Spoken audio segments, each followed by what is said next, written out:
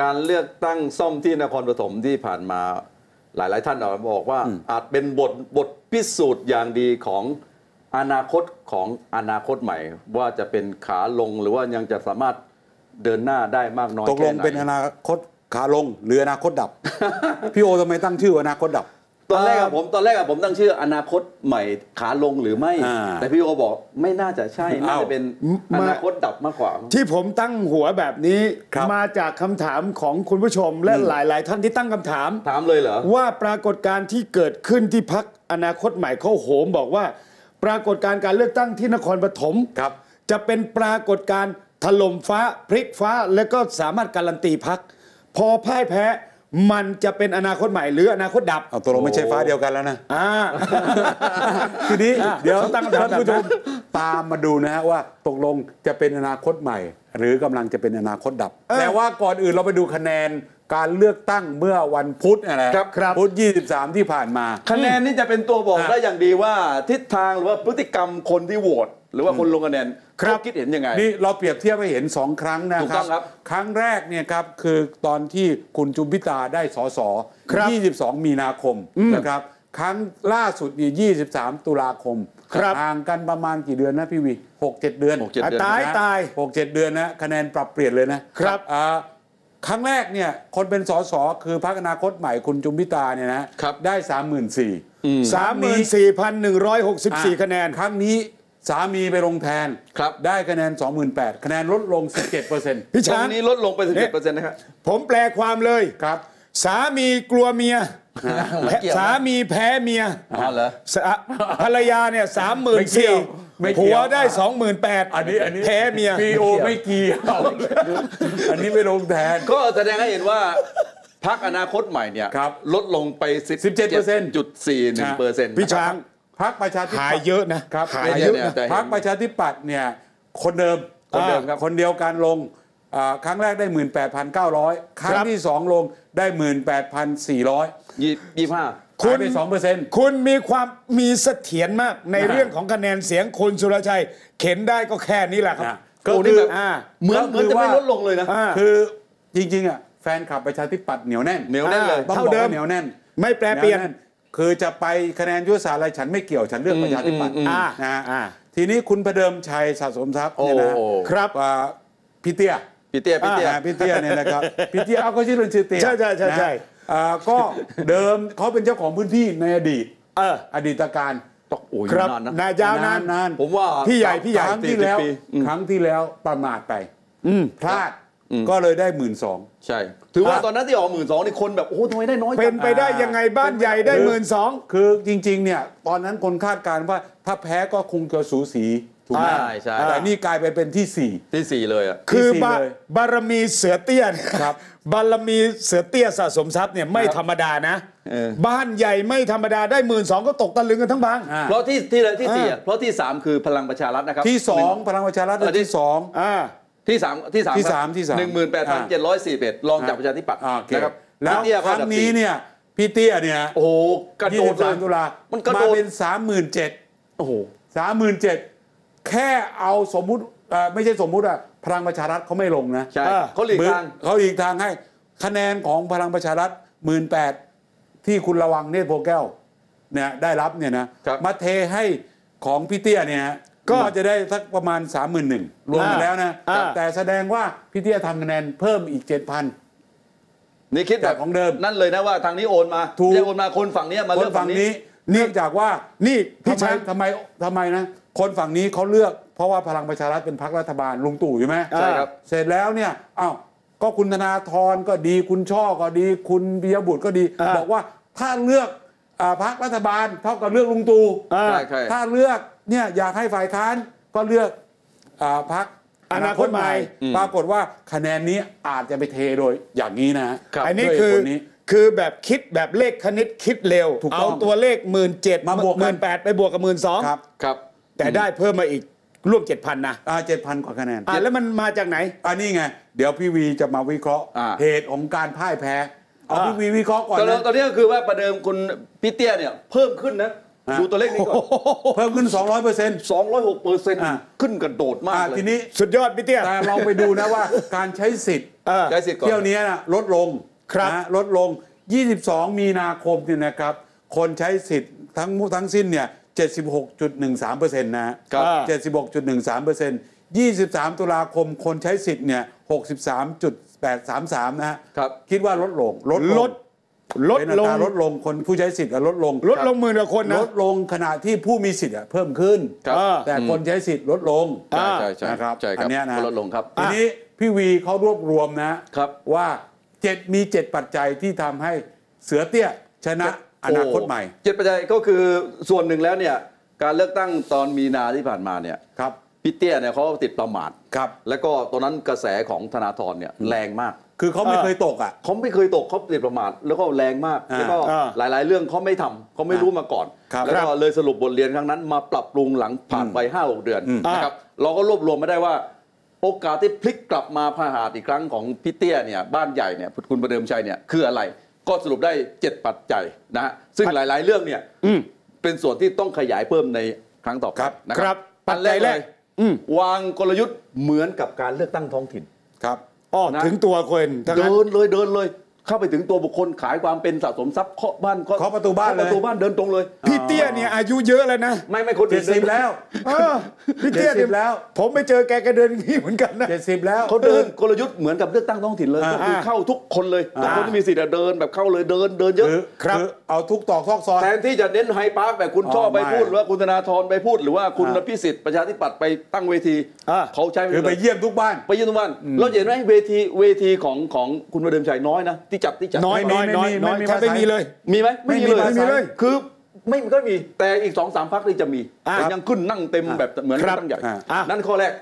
ข้อที่สองสองเมื่อกี้พี่พี่ช้างก็เปรียบเทียบครับอีกแล้ว ว่าพอพลังประชารัฐมีการคุยในพักร่วมรัฐบาลอืมจริง ๆ แล้วตอนแรกก็คุยกันสามพักครับให้เหลือพักเดียวแต่โอเคประชาธิปัตย์กับชาติไทยพัฒนาเขาแสดงจุดยืนของเขาอ่ามันคืออ่ประชาธิปัตย์เขาคิดว่าเขาได้เบอร์เบอร์สองเขาที่สองอ่าเขาควรจะลงอ่าแต่พี่เตี้ยชาติไทยพัฒนาเนี่ย เขาบอกว่าฉันเป็นเจ้าของพื้นที่มาตลอดคือต่างคนต่างมีจุดยืนมีความคิดเองอ่าแต่ว่าการที่พลังประชารัฐไม่ส่งเนี่ยครับก็เป็นอีกตัวแปรสำคัญครับเพราะ 18,000 คนก็เทไปทางไหน ก็อาจจะไปมาทางนี้ อันนี้ถูกเหตุผลสำคัญครับอะต่ออัมานที่สามตั้งทีมงานสื่อดิจิทัลเมื่อก่อนไม่เคยมีโซเชียลมีเดียคือพี่เตี้ยไม่เคยทำพี่เตี้ยเพิ่งมามี Facebook ตอนเลือกตั้งครั้งนี้ โดยให้หลานพวกทีมงานมาทำคือให้คนรุ่นใหม่ในตระกูลก็เครือมาทำเข้าใจลุง เพราะลุงให้สัมภาษณ์นะหลังจากพ่ายแพ้ เนื่องจากโอ้โหไม่รู้มันหาเสียงตอนไหน มันคุยกันในออนไลน์ในคุยในโซเชียลเมื่อก่อนไม่มีความรู้และไม่เชื่อเรื่องโซเชียลไม่เชื่อโซเชียลว่าเชื่อในความเป็นสะสมทรัพย์อ่าสะสมทรัพย์ยังไงก็ต้องได้อ่านนะฮะแต่ไม่ลืมว่าเด็กๆวัยรุ่นมันคุยในโซเชียลกันครับนาคตมันเบื่อใหลุงแล้วเบื่อไม่รู้ครั้งนี้เลยเซตทีมหลานๆตั้งทีมมา แล้วก็พี่เตี้ยก็ก็มี Facebook อ่ามี Facebook เองอ่านะไม่ธรรมดา ไม่ธรรมดาอ่าน นะก็เป็นตัวแปรสำคัญ ข้อสี่ อันนี้ที่บอกใกล้ๆเคียงกี้เน้นลงพื้นที่เคาะบ้านประตูใช้ทีมงานเกมลึก เจาะทุกหมู่บ้านใน 13ตำบลอ๋อนี่สามพันมีสิเจาะ บสามตำบล ใช่ครับ เจาะจอ13ตำบลไม่พอนะ ฮะ ผมเสริมพี่วีหน่อยว่าผมได้ยินมาว่าเคาะประตูบ้านไม่พอ ส่งทีมงานเจาะลึกไม่พอทำไม กำกับไปด้วยไอ้หัวคะแนนทั้งหลายแหละ แพ้เมื่อไหร่มึงโดน โดนคืออะไร โดนโดนอะไรโดนอะไรโดนเตะก้นไม่รู้อะโดนอะไรสักดอกนึงอะโดนเตะก้นโอเคนายโอ้ย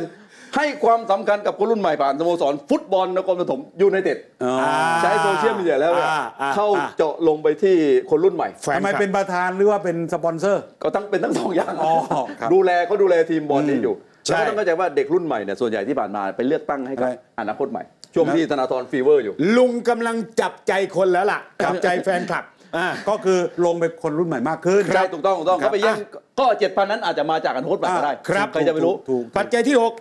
ปัจจัยที่ 6 ที่ 7 เนี่ยไอ้เนี่ยเป็นสิ่งที่เจาะลึก แล้วก็เป็นมาช่วงท้ายท้ายๆก่อนที่จะมีเลือกตั้ง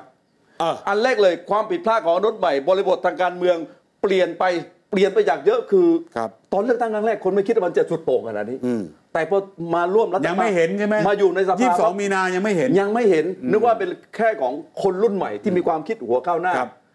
ต่อสู้กับพวกอนุรักษ์นิยมอ่า ประเด็จกงประเด็จการก็วาทกรรมก็ว่าไป อ่าแต่ไม่คิดว่าพอหลังจากเลือกตั้งแล้วเนี่ยออกไปทางสุดโต่ง อืม โอ้พาดพิงกับสถาบันพาดพิงอะไรมีเกี่ยวข้องคนก็สงสัย เออ คนเริ่มตั้งสติได้ เริ่มมาคิดชักไม่ใช่เลยเว้ย ถ้าเล่นเกมนี่การเมืองสุดโต่งไม่เอาเลยเว้ย นี่ เขาพูดกันถึงเรื่องนี้เหมือนกันสามพรานกูดูมีโรงเรียนมีโรงเรียนกี่โรงเรียนโรงเรียนนายร้อยสามพันเขามีหนึ่งสองโรงเรียนลูกของวชิราวุธวิทยาลัยก็อยู่ที่นั่นอ๋ออยู่นี่เหรออะอ๋อเขาเป็นพี่น้องกันนี่คือโรงเรียนอ่าที่มาจากสถาบันกษัตริย์ถูกที่กำลังบอกเนี่ยนะครับอยู่นี่คนนะสามพรานเนี่ยเขาแล้วไปเขารักสถาบันไปถึงไปถึงข้อเจ็ดไงอะข้อแล้วเจ็ดโยงมาถึงข้อ7ข้อ7เนี่ยคือวันสำคัญของการโหวตพลกการโอนกำลังพลไอ้นี่อาจจะเป็นอีกตัวแปรใหญ่ ที่ครับทำให้คนหลายคนตัดสินใจก่อนวันเลือกตั้ง ข้อ 7 เลยพลกโอนกำลังพลที่อภิปรายในสภานะเจ็ดสิบสสโหวตคว่ำเลย ไม่เห็นด้วยของอนาคตใหม่พักของอเดียว นาคตใหม่พรคืรอคตอนเดียวคือตอนแรกอะผมว่าถ้าเขายึดตามวันที่ 6 ที่ 7 ที่คุยที่ชลบุรีอ่านะหกเจ็ดตุลาคืองดออกเสียง มติของอนาคตใหม่ตอนนั้นคืองดออกเสียง อาจจะไม่อาจจะไม่เจอสถานการณ์แบบงดนี้ออกเสียงก็คือเหมือนกับที่คุณคุณศรีนวลคุณศรีนวลโหวตนะคือศรีนวลงดออกเสียงบุญลือ คือนะทางงดออกเสียงผมว่ายังอารมณ์ไม่รุนแรงเท่านี้อันนี้แต่มาเปลี่ยนตอนหลังเป็นแบบคว่ำเลยพี่วีวิเคราะห์เจ็ดปัจจัยนะเจ็ดปัจจัยนะผมมาวิเคราะห์ปัจจัยเดียว ปัจจัยเดียวคือ คือคุณวันอยู่บำรุงอะ เชียร์พี่เตี้ยจำได้ไหมอ๋อนี่ถ้าพี่วันพี่วันไม่เชียร์ไม่ได้เหรอพี่เตี้ยเออไม่ได้จำได้ไหมครับทำไมอะผมจะเชียร์อาอาผมอะอาเตี้ยอาเตี้ยอาเตี้ยอาเตี้ยอาเตี้ยอาประเดิมชัยอะผมสนิทกันอ๋อชนะเอาจำได้ไหมโอ้โหอันนี้ชนะเพราะพี่วันแต่ไปฟังฟังเสียงมันชักฟังเสียงคือหลังไปอย่างไหมนี้เนี่ย ที่ผมกำลังบอกว่าเราวิเคราะห์เจ็ดเจ็ดปัจจัยผมแถมไม่หนึ่งนะเรื่องพี่วันเนี่ยแต่ว่าเราไปดูนะว่าครับ จริง ๆ แล้วเนี่ยมันเกิดจากความอ่างกาของพรรคอนาคตใหม่ ตั้งแต่หัวขบวนหรือเปล่า ที่ไปพูดก่อนเลือกตั้ง แล้วพูดขนาดเลือกตั้งนิดเดียวนะพูดเป็นเรื่องการเมืองใหญ่โต แล้วไปข่มขู่ประชาชนอืมข่มข่มขู่เลยเหรอ ข่มขู่ยังไงเนี่ยไปฟังเสียงตอนคุณช่อนะ แต่ว่าตอนนี้ฟังเสียงตั้งแต่คุณอ่า ธนาธรธนาธรครักับบคุณช่อแล้วกลับมาเดี๋ยวผมจะบอกว่านี่คือการข่มขู่ยังไงอะครับ ไปติดตามครับ เลือกตั้งครั้งนี้มันจะสั่นสะเทือนไปทั่วประเทศไทย ถ้าเราบอกว่าถ้าเสียงของคนสามพรานเป็นตัวแทนของคนทั้งประเทศแล้วบอกว่าอำนาจที่ช่อฉน เราไม่เอาอีกแล้วเราพอกันทีกับอำนาจนั้น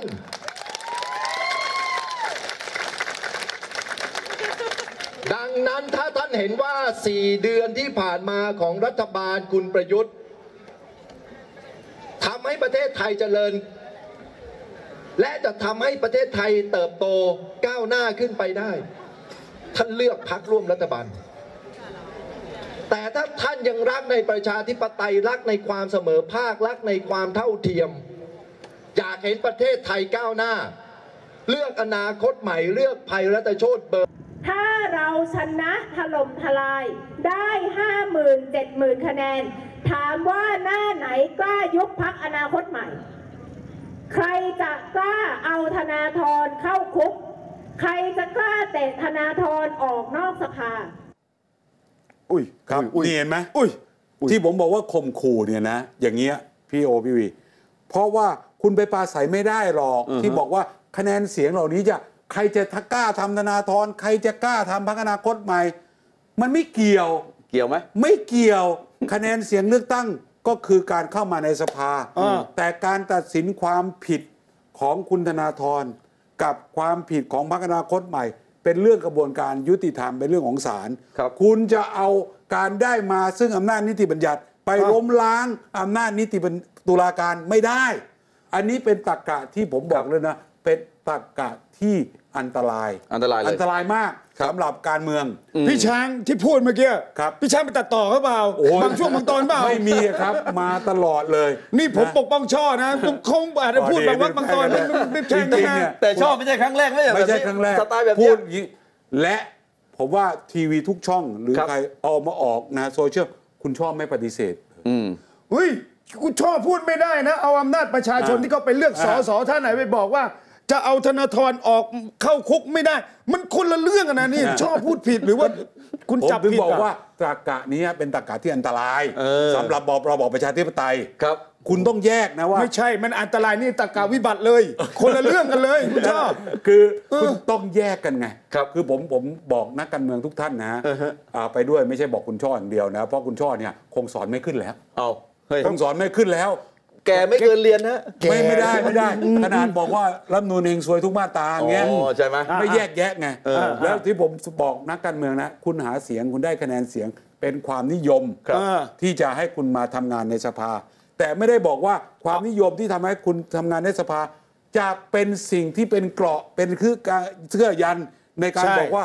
คุณทำทำผิดอะไรก็ได้เหวอะไรก็ได้นี่ไม่ได้คุณทำผิดก็คือผิดตักกะแบบนี้นะสสทำผิดไม่ได้ อย่างนี้คนละเรื่องอ่าเขามอบอำนาจให้คุณไปทำหน้าที่ อ่าเลือกคุณไปทำหน้าที่เป็นครับตัวแทนประชาชนเท่านั้นเองเขาแต่ถึง ไม่ไปหักล้างความระผิดบอบนะประชาธิปไตยถึงอ่าขานอำนาจกันไงระหว่างอำนาจ นิติบัญญัติครับบริหารและอ่าตุลาการ ครับเพราะถ้าคุณได้อำนาจนิติบัญญัติมาแล้ว คุณบอกฉันใหญ่สุดอำนาจตุลาการกูก็ไม่สนเนี่ยอันนี้ไม่ได้ อันนี้เลว แต่อย่าลืมนะพักนี้เขาเขา มีความรู้เรื่องประชาธิปไตยดีสุดนะเหรอการอันเนี้ยแบ่งผมว่าถ้าผมเป็นอาจารย์สอนรัฐศาสตร์ผมให้สอบตกอะ นี่ ผมถามผมถามแบบน้าแอดน้าแอด ประชาธิปไตยจ้าหน้าตาเป็นยังไง ขอดูหน่อยร้องเพลงทุกปิดให้ร้องดูเพลงหน่อย ร้องเพลงทุกอาทิตย์เลยเขาเสียงดีเขาเสียงดี เดี๋ยวนะครับเอาว่าในช่วงหน้านะเรามาดูกันใหม่ว่า เหตุผลหนึ่งอะ ที่พักอนาคตใหม่แถลงเนี่ยแพ้เพราะวันพุธอะมันจริงหรือเปล่า หลังการเลือกตั้งนครปฐม ความพ่ายแพ้ของอนาคตใหม่ คือการเลือกตั้งวันพุธเป็นคำอธิบายเป็นวันคำเกิอดธิบายจากมุมของพรรคอนาคตใหม่ว่า ที่ฉันแพ้เนี่ยไม่ได้ปัญหาเรื่องความนิยมครับของประชาชนที่ลดลงเลยอ่าเป็นเพราะว่าไปเลือกตั้งวันพุธปกติเลือกตั้งวันอาทิตย์ถ้าวันอัอานนั้ทิตนย์คือถ้าวันอาทิตย์เนี่ยอนาคตใหม่ชนะเขาวิเคราะห์ สแกนมาจากตัวเลขต่างๆคืในอการเลือกตั้งแล้ว คือแล้วก็บอกว่าคนเกิดวันพุธผิด ไม่ใช่ ไม่ใช่เขาบอกว่าวันนั้นคือคนงานไม่ได้หยุดอ่าไม่ได้มาเลือกหยุดเป็นฐานหยุดหยุดไม่สิไม่ไม่ที่เขาบอกวันหยุดที่เขาบอกว่าคนงานซึ่งเป็นฐานเสียงสำคัญของอนาคตใหม่เนี่ยคือไม่ได้มาเลือกคือเอ้าเดี๋ยวเดี๋ยวแล้วเดี๋ยวทำอะไรเอาล่ะงี้เอางี้ไปฟังคุณปิยบุตรอ่านะแสงกนกกุลเลขาธิการพักครับอธิบายก่อนนะความชอบธรรมในการแพ้คืออะไรเนี่ยนะครับอย่างที่ทีมยุทธศาสตร์ของพรรคได้วิเคราะห์นะครับเรานั่งมอนิเตอร์กดคะแนนทุกจุดเลยนะครับครั้งนี้เนี่ยนะครับเอ่อจุดหนึ่งที่เป็นข้อสังเกตจริง ๆ ก็คือเรื่องการเลือกตั้งวันพุธ นะครับทำให้ฐานคะแนนของเราที่สำคัญ คือผู้ใช้แรงงานในโรงงานอุตสาหกรรมต่างๆ ในพื้นที่นี้นะครับอาจจะมีความยากลำบากนะครับในการออกมาลงคะแนนทำให้พี่น้องประชาชนที่มีไปทำงานที่อื่น แต่บังเอิญมีทะเบียนบ้านอยู่ที่นี่นะครับก็มีอุปสรรคขัดข้องในการเดินทางกลับมานะครับก็อันนี้เป็นทีมวิเคราะห์เริ่มศึกษาข้อมูลตรงนี้แล้วนะครับว่าคะแนนเดิมที่เราได้มาเนี่ยมันหายไปที่จุดไหนนะครับเดี๋ยวอาจจะต้องรอดูก็ได้ครับว่าจำนวนผู้มาใช้สิทธิ์เนี่ยมันน้อยลงกว่าเดิมเยอะขนาดไหนนะครับผมคิดว่าถ้าสะท้อนออกมาแบบนี้แสดงว่าการเลือกตั้งวันพุธไม่ได้เลือกตั้งวันอาทิตย์อาจจะมีนัยสำคัญอยู่ การคิดว่าเลือกตั้งวันพุธทำให้อนาคตใหม่พ่ายแพ้ไม่ได้พูดมาลอยๆ แต่ใช้ทีมยุทธศาสตร์ทีมยุทธศาสตร์วิเคราะห์นะนั่งวิเคราะห์ยุทธศาสตร์นะคือมันสรุปนะไม่ไม่ใช่ว่านั่งวันพูพุดธผิดวันพุธผิดตกลงพี่เตี้ยเนี่ยเขาได้มาเพราะเลือกตั้งวันอาทิตย์ใช่ไหมคือปีเตี้ยเลือกตั้งวันอาทิตพี่ย์พี่เตี้ยเขาได้มาเพราะเลือกตั้งวันพุธอ่าเขาไม่ถูกกับวันอาทิเขาตย์ไม่ถูกกับวันอาทิตย์ เพราะเลือกตั้งวันอาทิตย์เขาแพ้ออผมเข้าใจว่าที่คุณธนาธรพูด ลัคนาราศีมันเล็งกัน ตกลงพักนี้เชื่อไสยศาสตร์ เนี่ยมันเล็งตะกะเขาบอกว่าวันพุธเป็นวันหยุดนะ อ่าวันหยุดเป็นการทั่วไปอ่าอ่าปิยบุตรถูก แสดงว่าเขตนั้น ว่าว่าเขตอื่นคนที่ไปทำงานที่อื่น อาจจะเดินทางกลับบ้านไม่ได้อะก็อาจจะเป็นไปได้ เป็นได้ไหม เป็นไปได้ คือ แต่แต่ผมว่าตะกะวันพุธเลือกตั้งวันพุธผิดคือแน่มันอย่างนี้พี่โอพี่วีมันคนเราเนี่ยเวลาแพ้เนี่ยมันหาช่องรอดอะ มันหาความชอบธรรมในการแพ้ นี่พี่ช้าง รัฐธรรมนูญเขียนนะอ่าการเลือกตั้งเนี่ยมันคือหน้าที่ ใช่ เออ อันนี้ชัดเจนที่สุดนะมันคือหน้าที่เลยครันะ บหน้าที่ของคนไทยทุกคนอ่า ที่ต้องไปเลือกทีตั้งนี้เนี่ยอ่า คือจริง ๆ แล้วความ มันมีคำถามคนชอบถามว่า เฮ้ย อยู่ๆทำไมเลือกตั้งวันพุธ อ่า เฮ้ย นี่คิดเองทำเองกก็ตอันมีนี้หแหลัละกระพรเบียบรคกอฎนาหมายคตใหม่เขาก็เขาไปร้องกับกกตก่อนหน้านี้แล้วใช่ ร้องแล้วเหรอ ร้องแล้วเคยร้องเคยร้องบอกว่าคอย่าเลือกวันพุธบเออ ขอเลื่อนได้ไหมไม่เลือกวันพุธได้ไหมเออทีนี้เนี่ยกกตก็เปิดกฎหมายอ่าเราก็ไปเปิดกฎหมายนะดูดูว่าดูครับดูสิการกำหนดวันเลือกตั้งเนี่ยตามพรบเลือกตั้งปี 2560 นะครับ60 นะจริง ๆ 60 ครับนะมาตรา4เนี่ยระบุไว้เนี่ยว่าวันเลือกตั้งหมายความว่าวันที่คณะกรรมการการเลือกตั้งเนี่ยประกาศกำหนดให้เป็นวันเลือกตั้ง นั่นคืออำนาจกกตมีถูกไหมเป็นอำนาจของเขาอำนาจกกตเลยอ่าอ่าทีนี้เนี่ยจะวันไหนวันธรรมดาอะไรก็ได้ ไม่ต้องบอกแล้วแต่เขาหยุดแล้วแต่กกตคุณลงเล่นอย่างเดียว ทีนี้เนี่ยอ่ากกตแถลงเมื่อก่อนเนี้นะตอนที่อนาคตใหม่ไปร้องเนี่ยว่าครับทำไมเขาเลือกวันที่ 23 ตุลาอืมอืมอะเขาบอกมีเหตุผลไหผมลอย่างนี้นะว่านี่ครับนี่ครับที่เลือกตั้งวันพุธ 23 ตุลาเนี่ยครับเนื่องจากเป็นวันหยุดอืม ที่กกตเออสามารถจัดการเลือกตั้งภายใน 45 วันตรงนี้สำคัญขีดเส้นใต้นะตรงนี้สำคัญคือถ้าเกิน 23 ตุลาไปเลือกวันอาทิตย์ที่ 27 เนี่ยนะครับกกตผิดกฎหมายเลย มันเกินเหรอ เกิน เอ้าถ้าล่นออกมาเป็นวันอาทิตย์ปกติได้ไหมก็ได้นี่ไงอะไปข้อ 2 ถ้าล่นมาเป็นวันอาทิตย์ครับวันประมาณวันที่ 20นะนะอะมันก็ไม่ทันอีก เพราะว่าต้องประกาศรายชื่อผู้มีสิทธิ์อืมก่อน 25 วันก่อนลงบัตรอืมหย่อนบัตร มันไม่ถึงอ๋อถ้าอย่างนั้นเนี่ยถ้าทำวันที่ 20 หรือ 27 เนี่ย การเลือกตั้งเป็นโมฆะทำวันอาทิตย์ 20 แต่อ๋อนี่มันถูกล็อกมาอยู่ผิดข้อนี้ล็อกด้วยกฎหมายมาผิดข้อนี้โอ้ว่าคือจะไปเลือกก่อนไปเลือก 20นี่อ้าวประกาศที่หน่วยหน่วยเลือกตั้งอะไม่ทันอะกฎหมายบอกไว้เลยว่าต้อง25วันครับอ๋ออ๋ออ๋อยี่สิบห้าวันต้องตรวจสอบไม่น้อยกว่าถูก25 วันถูกนะ โอ้โอ้โอ้อันเลนี้ยใช้เกณฑ์2ข้อนี้เป็นหลัก ถูกต้องฮะแสดงเกณฑ์สองข้อนี้มันล็อกไงมันล็อกกัน แสดงว่าวันพุธเป็นวันลาหูอมจันทร์ของพรรคอนาคตใหม่มืดมืดเดี๋ยวนะไอ้ผมเกิดวันพุธนี่วนแพ้อย่างนี้นะอ่าเดี๋ยวอนาคตใหม่ไปร้องแก้กฎหมาย แก้กฎหมายใช่ไหมกฎหมายผิดไม่ใช่ติ๊กไม่ใช่ติ๊กติ๊กนะก็เขาบอกว่าต้องแก้รัฐธรรมนูนไงนี่คุณเอาตะกามาจากไหนว่าแต่พรรคอการนาคที่ตเขาใหม่บอกเป็นทุกอย่างเนี่ย อดอยากเศรษฐกิจไม่ดีต้องแก้รัฐธรรมนูนแก้มนนนะ คือก็บอกว่าถ้าฉันแพ้ต้องแก้กฎหมาย ตอนนี้คือคนที่แบบอดอยากปากแห้งเศรษฐกิจไม่ดี GDP ลดเนื่องจากเลือกตั้งวันพุธแล้วเออเรื่องวันพุธคุณมีตะการนี้อีกเนี่ยไม่ไม่นิตกะ นี่พรรคอนาคตใหม่ท่าทางเนี่ยจะเจอขวากหนามหลายทีอนี้ย่างเนี่ยนะครับ อ่านอกจากเลือกตั้งพ่ายแพ้ต้องบอกยับเยินนะ โอ้ยับยับเยินยับเยินเที่ยวนี้เนี่ย